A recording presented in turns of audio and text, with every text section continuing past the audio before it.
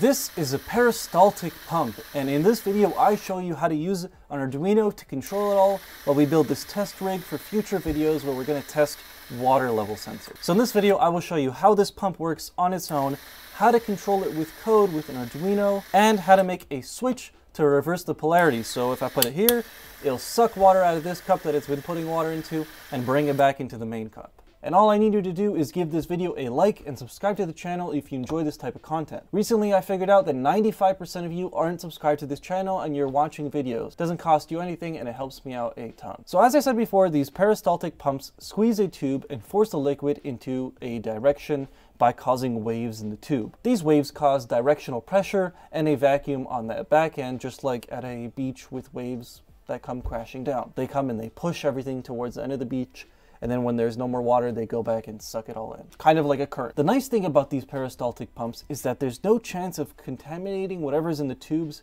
because all the mechanisms that cause this pump to work are outside the tube.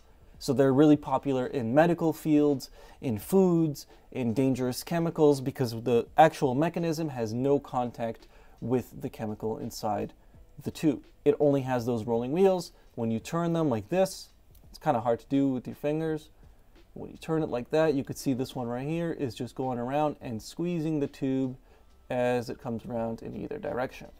But there's actually no contact with the liquid. I could just take this out, take the tube out, and it's still the whole, the whole tube system is still intact regardless of this pump. So it's kind of like an add-on. It's also extremely easy to do maintenance on. Like if you need a new motor, just take this out and then put a new one onto these two pieces. It actually goes together like this that clicks in there. That clicks in there, and then that's it. Those three pieces now made me a pump that will not contaminate the liquids. Usually in these type of videos, we take an Arduino, we connect it to whatever we're reviewing, we make it work, and that's it. But in this video, this is actually going to be a project for the next five videos on the channel. What we need to do is make this Arduino and this pump pump water in and out of a big container like this. And then we have all these different types of water sensors that we're going to review in each video individually, and we're going to use this rig to test them. So the goal would be that with the Arduino and the pump, we put the water into the container until the level sensor says the water is too high, and then we cut the water, uh, you know, we cut the pump off. So all we really need to do is put water in and out of this container.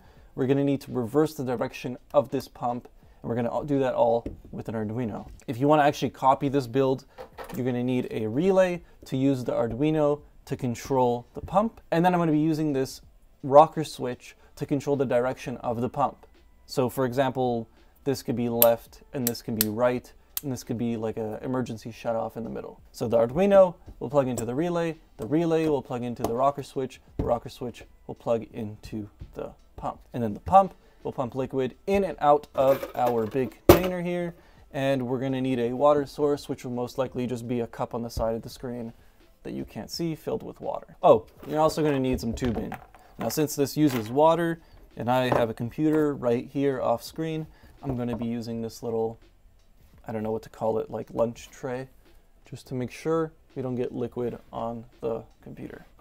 You're also going to need a power supply for your water pump. In this case, this water pump is a 12 volt DC water pump, or at least the motor is. So I have here a power supply I think I took off of an old laptop.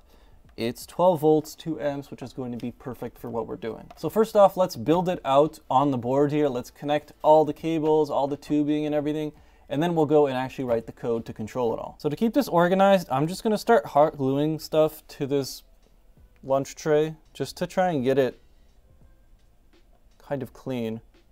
So there's our Arduino board. It's gonna need some more glue for sure. I'm not gonna glue the rocker switch yet because we are gonna have to solder up these pins in the back before we glue it down so we can, you know, control the directions. So for now, I'm just gonna place it right there, but these two look good. And then same thing with our pump. We have not finished yet with connecting everything, so I think we're just gonna wait out on that for a little bit. I don't want to spend too much time in this video showing you how I made this reversible switch, so I'm going to keep that for another video in the series, but for now, I'm going to put a picture up on the screen if you want to follow along to do it yourself, and then on the right, I'm going to put a picture of what it looked like when it was finished. Alright, so now we're done with the switch.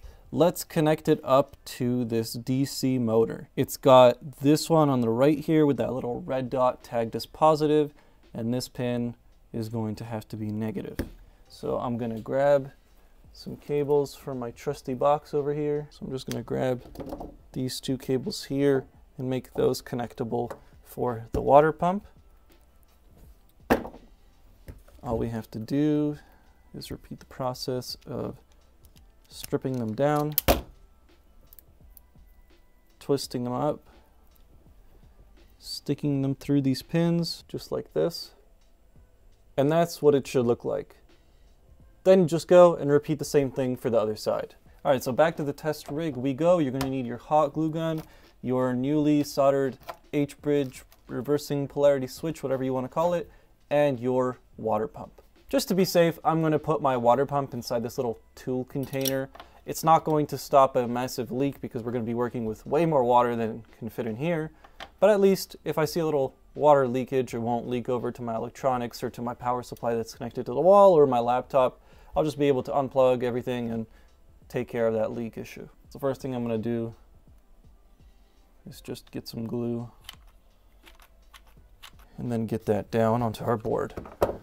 Now we're gonna take our water pump, gonna lightly glue it. I don't need anything crazy because it probably will come off at least once. Get some glue where those bolt holes are. And then I'm just going to do this. I'm gonna need a good amount of glue because I will be pushing this switch a lot. And then motor side will go to the motor and relay side will go to the relay, just like this.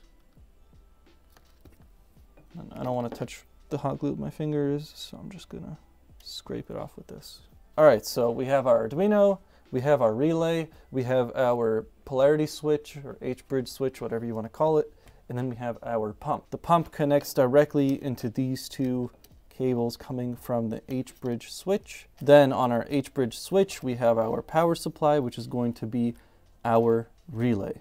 We're going to plug in our positive terminal from our switch to our relay. Now this is going to be the, the one thing we really, really, really don't want to get wet. So this right here, we just uh, cleaned up here, is our negative from the power supply, our 12 volt power supply. That's going to go directly into the polarity switch. Now this is going to plug into the middle port, which has COM on it. So now we have our positive and negative from the power supply connected to our relay and to our switch, which both go into our pump. Our relay isn't connected to the Arduino, so we could do that, but first, let's just clean up this cables. For that, we're gonna need three different cables.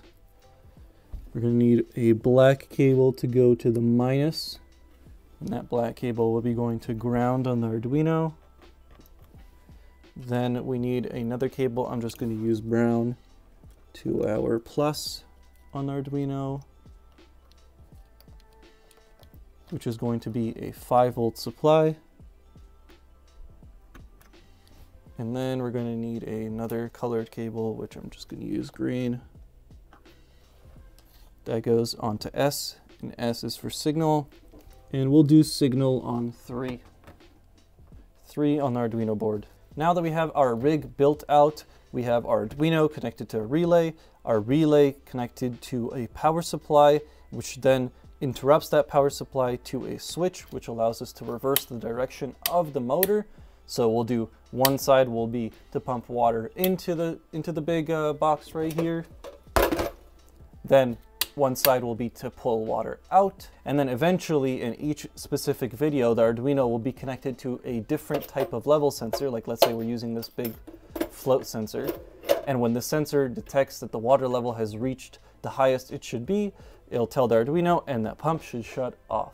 That's the goal of what the videos will be, and that's why we built this whole test bench. So let's connect the Arduino board to our computer and then write some code to make this pump work. When you upload this code I put up on the screen right here, the relay is going to flash a light and make a loud click for one second, and then it's going to turn off and repeat over and over. There we go, there's that light on and off. So I just changed up the code. I'm gonna have it initially turn off for a second, then I want it to turn on for one second and then turn off for five and repeat. So that's one second on, one, two, three, four, five. Back on for one, and then repeat. So I'm just going to comment this out and upload it to the board so only this code runs right here. So the relay should stay off. We're gonna uncomment that. So I'm just gonna plug in the power supply into the wall. No sparks, no smoking. I think we're good. I don't feel any heat. Now let's upload this code to the Arduino and see if it does what it's supposed to do.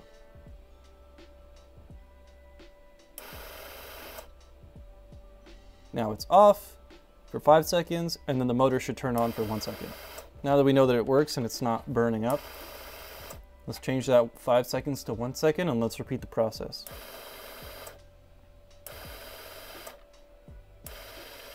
I don't know if you can hear this, so I'm just gonna move the microphone. All right, so we actually got this working. If you put it in the middle switch here, it's gonna stop the motor from working, and if you put it in this one, it will turn the motor the other direction. I'm just feeling it to see if it's hot. Seems like we're good. Now the motor is back in a emergency off, I guess you can call it. But if you put it in here, it's one direction, put it in here, it's the other. Let's plug our pump into some tubes get those tubes into a cup of water and maybe another cup to dump the water in and then let's see if this thing actually works. We know we can activate it, but we haven't figured out yet if we can make it do what we're trying to do. And hopefully it will not make a big mess and fry everything. So let's go over this one more time. Arduino goes into relay. Relay controls a power supply, which goes to a reversing switch to reverse the motor in and out so that water can be sucked out of the cup or put into the cup. And then that's pretty much it. So I'm just gonna run the code that turns the water on and off. And I'm gonna put it five seconds on and then five, or we'll do five seconds on, two seconds off. All right, so we're, we're getting bubbles in this cup right here, which means we're trying to push out this way. Now it should start sucking water. There it is. It's going down the tube. It's stuck right here. Keep going. It's in our pump. For some reason, there's red stuff in our pump. That's pretty cool. And now our cup, our little mug here is filling up with water. Well, that's it for this video. In the next couple videos, we're gonna take water level sensors like this one right here, where it has a ball on a long stick, and as the water level rises, the ball will rise with the water level telling us where the water is. We're gonna use sensors like these inside of water containers, and then we're gonna use this system to bring the water level up until the sensor tells us it's enough or until it overflows and burns everything I have here. If you enjoyed this video one more time, just give it a like and subscribe to the channel, and I'll see you in the next one.